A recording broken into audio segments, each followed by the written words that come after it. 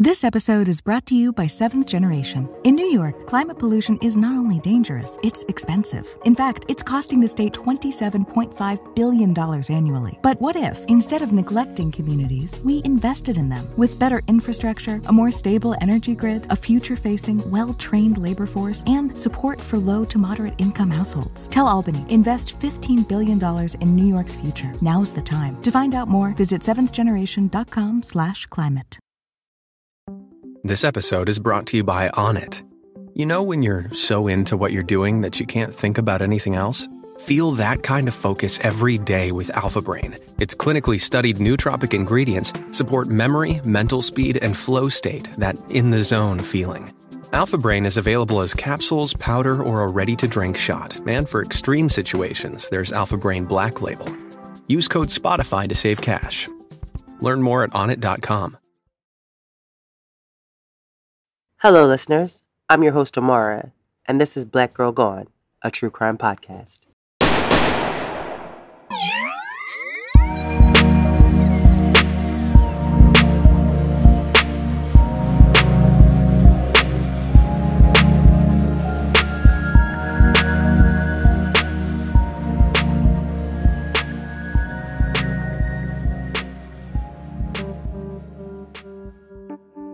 On this episode of Black Girl Gone, we tell the story of Natanalie Perez, who was 19 years old when she disappeared from Miami, Florida on June 1st, 2012. Natanalie had gone to Miami from her home in Central Florida to pursue her dreams. But not long after her arrival in Miami, she became the victim of a sex trafficking ring that serviced rich men at five star hotels. Natanalie's life had gone out of control and she was afraid something bad was going to happen to her. Ten years later, Natanalie is still missing, and her family wants to know where she is and what happened to her. This is Natanalie's story. If you follow me on social media, then you may have seen my post about Help You Find Me. For those who don't follow us, Help You Find.me is a database where you can create an If I Go Missing file where you can store personal information that can only be accessed by someone that you trust. Now, when this company approached me about a partnership, I was really 100% in from the beginning because the service that they're providing can be a game changer when someone goes missing. Over the past 53 episodes of Black Girl Gone, I wonder how many times something like Help You Find Me could have helped in the early hours of an investigation. I mean, like life insurance and wills, it can be hard to make plans for when something happens to someone that you love. And no one ever wants to be in the position where they're looking for someone that they care about.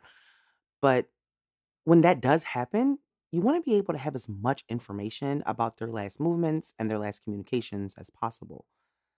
In most of the cases that I cover, it's way more than 72 hours before the police will even get involved. And so being able to access personal information quickly can make a huge difference in the investigation. With this platform, I am very particular about the kinds of partnerships that I even want to get involved with. But help you find out me is something that I really, really believe is amazing.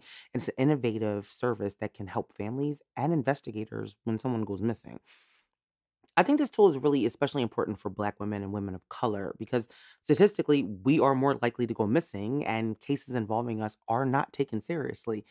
And often they're left unsolved. Giving your family and friends access to a If I Go Missing file not only allows them to be able to investigate themselves, but it can help them bring critical information and evidence directly to investigators without having to wait for a warrant. But it's not just for women, it's really for everybody. I mean, you and your spouse can use it, your teens can use it, your college age children can use it as well. I mean, help you find me is something that I think everyone should use.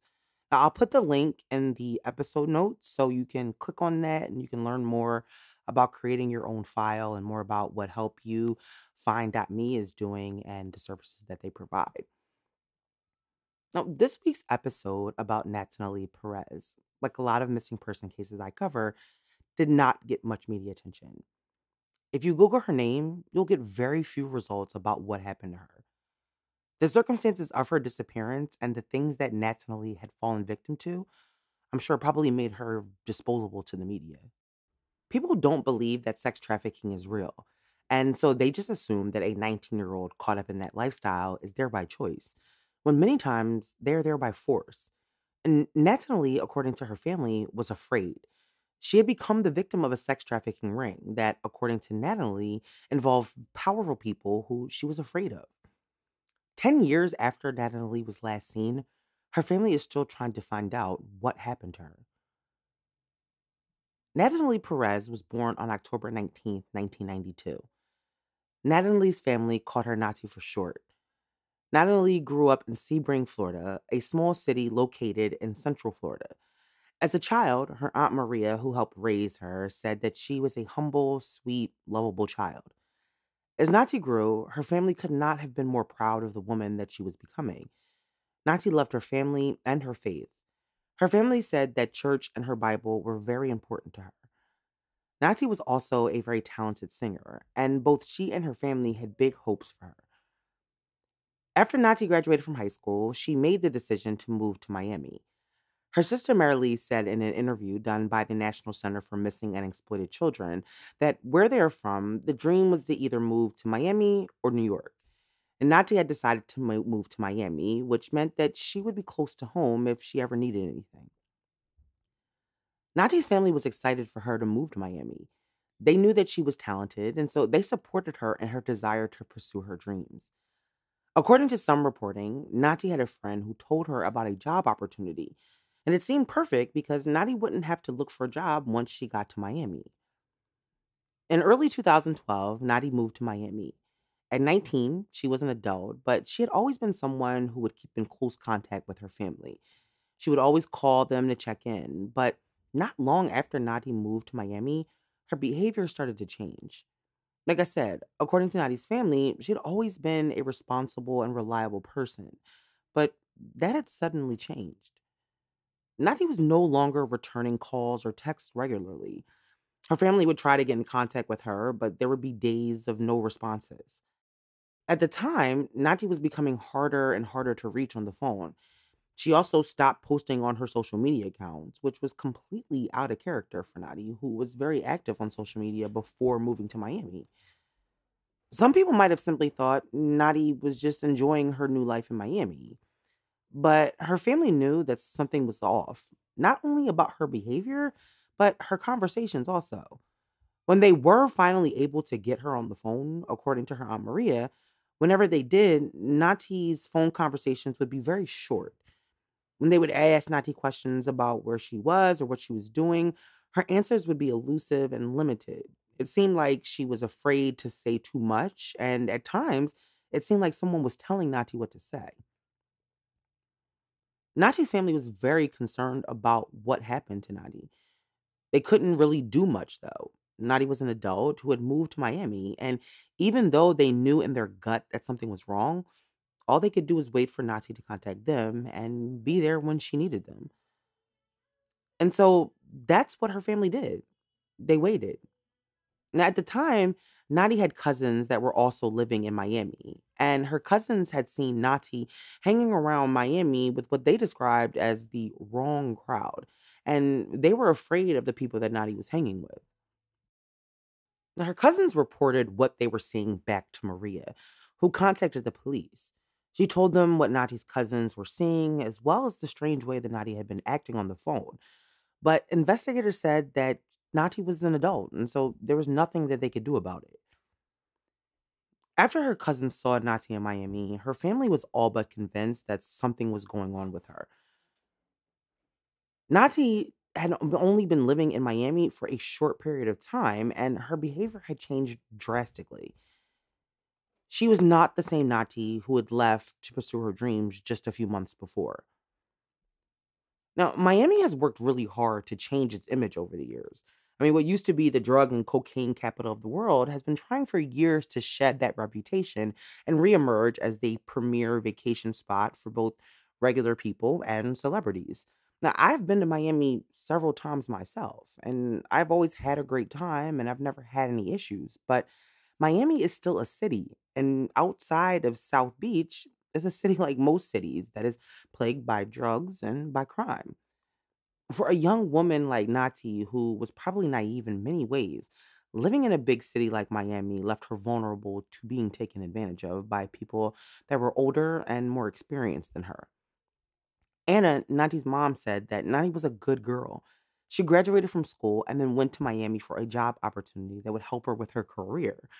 She was not a rebellious wild child who they would expect to have fallen in with the wrong crowd.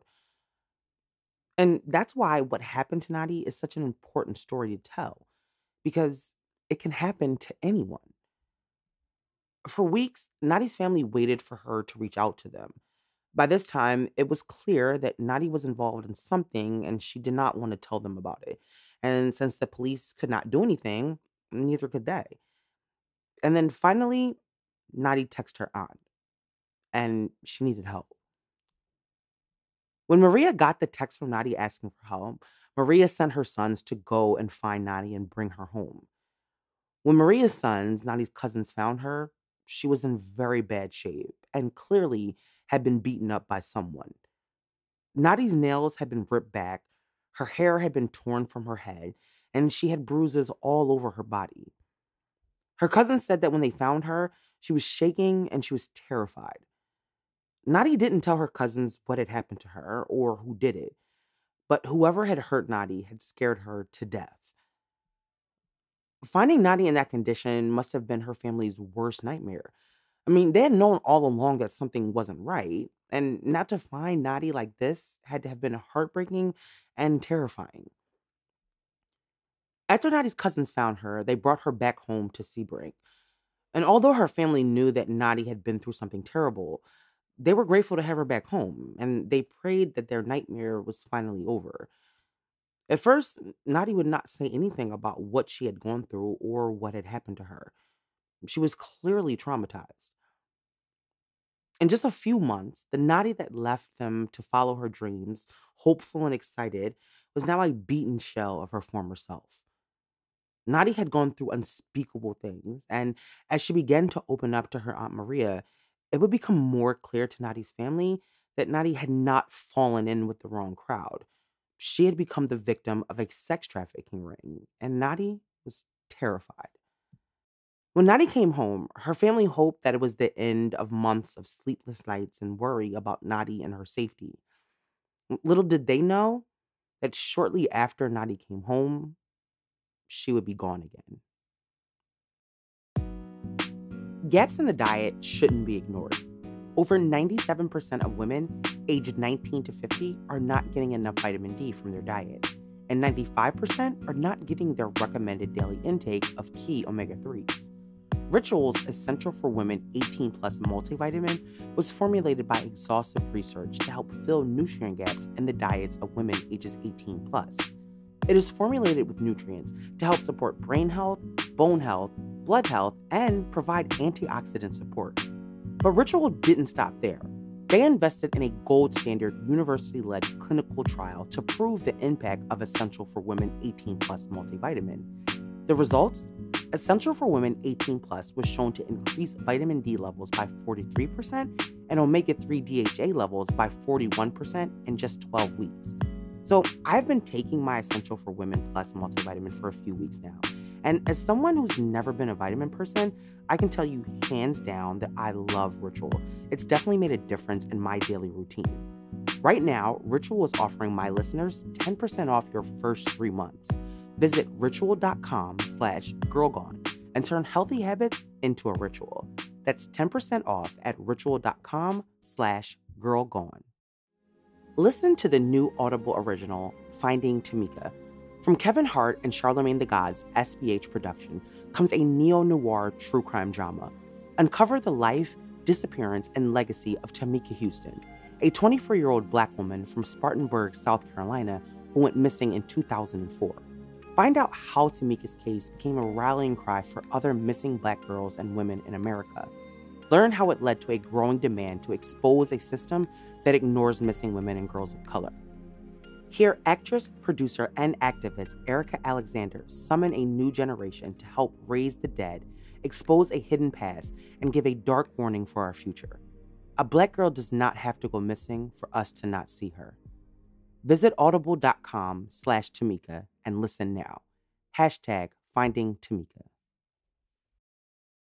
In early 2012, 19 year old Natalie Nati Perez moved to Miami, Florida to pursue her dreams. Nati was a talented singer, and after high school, she moved to Miami with the promise of an opportunity for work. But shortly after arriving in Miami, Nati's behavior changed. And within months of her arrival, Nati's family was concerned that she had gotten involved with people who were forcing her to do things against her will. When Nati's cousins found her beaten and scared after texting her aunt for help, her family knew that what they feared most was true. They just had no idea the extent until Nati began to talk about what she had been through. After Nati returned home to Sebring, her aunt Maria tried to get Nati to open up and tell her what happened to her while she was in Miami. And after some coaxing, Nati began to tell Maria a terrifying story. Nati told Maria that she had been forced to do things she did not want to do. She told Maria that she had been put on the website Backpage, where men were able to purchase her for sex. According to Nati, a lot of the men that were purchasing for her for sex were wealthy, well connected men judges, politicians, cops. Men in powerful positions were bringing her to five star hotels in Miami so that they could have sex with her. Nati told her aunt that they would dress her up to make her look like a quote unquote rich girl. But it wasn't just Nati. She described other girls being involved in the sex trafficking ring also. She said they came from small towns like Sebring, but most of them were from other countries, and they had all been tricked. All of the girls were forced to prostitute. They were videotaped, drugged, beaten. Nati said that the pimps would often starve the girls too. Now, according to a Reddit post about Nati, she also told her aunt that she had gone for a bogus singing audition and was lured in that way. She said that she had been kept at the Fontainebleau Hotel and that she had been forced to call her family and tell them that she was fine. Nati described a terrifying situation, and she was scared that the men who trafficked her were going to kill her. Her family tried to get Nati to go to the police, but she was too scared. Nati said that the men that she had been sold to for sex were rich and they were powerful, and she was afraid to get them involved.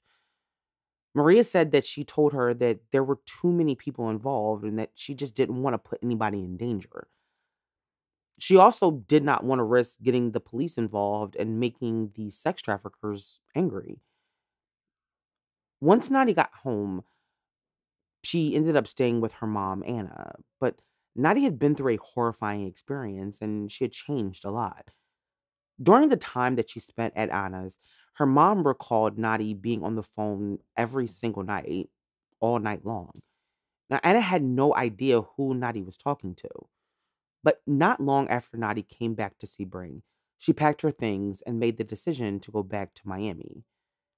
Something or someone was pulling Nati back, and her family had no idea who or what. They begged Nati not to go back to Miami. But during her last conversation with Nati, Maria asked her, You know, don't you know what they're going to do to you? And Nati told her aunt, quote, They can touch my body, but they can't touch my soul. Maria tried to get Nati to stay, but she couldn't. And before she knew it, Nati would be back in Miami, and no one in her family would ever see or speak to Nati again. On June 1st, 2012, Nati's sister Marilee received a phone call from a person that is described in many reports as Nati's boyfriend. However, there's no information about this boyfriend or when he came into the picture or how she met him. But according to reports, Marilee received a phone call from him telling her that Nati was missing. Marilee asked him what he meant by missing, and he told her that he and Nati had gotten into an argument the night before and that he fell asleep, and that when he woke up, Nati was gone. Immediately, Nati's family started calling her phone to see if she would pick up, but her phone was going straight to voicemail. With everything that had happened to Nati over the previous few months, her family was afraid that the traffickers had come back for her. Nati had been afraid of someone, and now she was gone, and her phone was going straight to voicemail. Nati's family reported her missing to police and then headed to Miami to search for Nati themselves. Her family passed out flyers and they went to local clubs, hoping that they would find Nati somewhere in Miami. But they found nothing. The friend who had brought, brought Nati to Miami the first time wasn't being helpful either. Nati's family had tried several times to speak to her, but she had been avoiding them and would not give them any information about Nati. Nati's family spoke to detectives who were working on the case while they were in Miami, but the police seemed to think that Nati was a prostitute and not a victim of sex trafficking. Despite her being a 19 year old with no history of being involved as a prostitute, they didn't seem to take her family's reports of a sex trafficking ring seriously. Instead, her family was told that the best thing to do was wait till Nati was arrested for prostitution. But Nati was not a prostitute. She was a victim of sex trafficking, and her family wasn't going to wait until she got arrested. They continued their search even without the police's help. In August 2012, detectives received a tip that Nati had been seen at a mall in Miami. Now, it's not clear whether or not the sighting was confirmed or not, but by October 2012, when a local news station finally picked up the story, Nati was still missing and her family had no answers. Nati's family tried to use social media and looked on, looking into her social media accounts to piece together clues of where she could have been or who was involved in this sex trafficking ring, but they were unable to find any information that would lead them to where Nati was. Her family believes that during that short time that Nati came home, that she was talking to the sex trafficker on the phone every night, and that they had been trying to keep tabs on her and had convinced her to come back to Miami. They believe it's possible that she could have even been threatened, and that's why she decided to go back. And it wasn't really much of a choice for her. In the months following Nati's disappearance, her family desperately continued to search for her. Her story did not garner the attention of local media, let alone national media, and her family tried their best to keep her story out there. They began working with the Anti Predator Network and the National Center for Missing and Exploited Children to help bring awareness about Nati's story. In 2016, four years after Nati was last seen, the National Center for Missing and Exploited Children put together a video of Nati's loved ones pleading for information. Her Aunt Maria spoke directly to Nati and made this heartbreaking plea. Nati, if you're watching this video, I want to say that I miss you with all my heart. You're the love of my life. And now we need you to come home. Please come home, baby. Princess nothing. please come home. We need you. We miss you so much. Four years after Nati vanished, her family was still in so much pain, and they were not getting any information about Nati. Because there is no information about Nati's investigation, it's hard to figure out what investigators know or didn't know about what happened to Nati. It doesn't mm. seem like much effort was being placed into this case. And it's my assumption, and I do say assumption because I don't know, but it seems like they probably just thought that Nati was prostituting and just happened to have a family that cared. But Nati wasn't a prostitute. Nati was a victim. And her family feared that whoever had trafficked her the first time made sure that she wouldn't leave again and that they had cut off all communication to her family. Nati could have been anywhere at that point. As the years continued to move by, Nati's family did not give up hope, but it seems like the investigation, if there was one, was going nowhere. In 2020, the National Center for Missing and Exploited Children again featured Nati's story. Her family was hoping a new video would help to renew interest in Nati's case and perhaps bring some new information in. During that interview, Anna, Nati's mom, said this My kid was a good kid. She went to school, she graduated. You know, she went to Miami thinking she was going to do work as as, you know, just working. And they pimped her out and they did whatever they wanted to do with her because she was vulnerable. She's not the first, and she probably won't be the last. And if people keep quiet, this will keep on. At the time the video was made, it had been eight agonizing years since Nati had been last seen. Her Aunt Maria said that no matter where she goes, she looks for Nati. I look in the streets to see if I see her. I went to Colorado and I looked for her. I went to Washington and I looked for her. I go to Puerto Rico and I look for her. I go to the Bahamas and I look for her. Anywhere I go, I'm always turning around to see if I see her at any moment, at any time. It's been almost 10 years since Natalie was last seen. Information regarding her case, if any exists, is not publicly available. There is no information about witness interviews, phone records pulled, evidence collected, nothing. I think it's safe to assume that Nati's case is cold. And I wish I could tell you more about an actual investigation, but the information is just not there. Natalie Perez was only 19 years old when she left her home in the small town of Sebring to go to Miami to follow her dreams.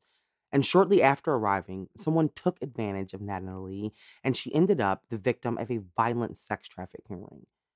Nati had been assaulted, drugged, and starved, and she was terrified. Her Aunt Maria believes that Nati went back to Miami to protect her family from whoever was after her. And she was telling me, you know, if they find me, you know, they're going to do something. And I know for a fact in my heart that she didn't stay in Highlands County because she protected us. If I can go back in time, I would have never let her go. I would I would have just held her and not let her get through that door. Never left. If you still don't believe that sex trafficking is real, if you still don't believe that it can happen to anybody, then you're still not paying attention. Time and time again, we have heard stories about sex trafficking rings from Illinois to Vegas, from Ohio, and now Florida. We need to have more conversations about sex trafficking and its effects on our community. How many of the women that have been reported missing are victims of sex trafficking? I'm sure the numbers are higher than we will ever know. Natalie would be 29 years old now. The years have brought no comfort to her family, and they have had to move on with their lives without Nati. She has missed so much of their lives, and they have had to deal with the pain of not knowing where Nati is or what happened to her. From what we do know about the months and weeks before Nati was last seen, is that multiple people were involved in what was going on with her. And that means that someone, somewhere, knows what happened to Nati. Nati never got to live out her dreams. Someone stole that from her when they tricked her and forced her into prostitution. The men and maybe even women that took advantage of Nati deserve to pay for the life that they destroyed. Nati's family just wants answers, and they want someone to care that Nati is still missing and that they are still looking for her. Nati could still be out there. She could still be deep in the world of sex trafficking and just unable to get home. Natalie would be 29 years old now.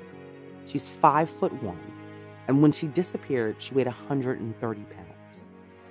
If you have any information about Natalie Perez, her whereabouts, or the circumstances of her disappearance, please contact the Miami Dade Police Department.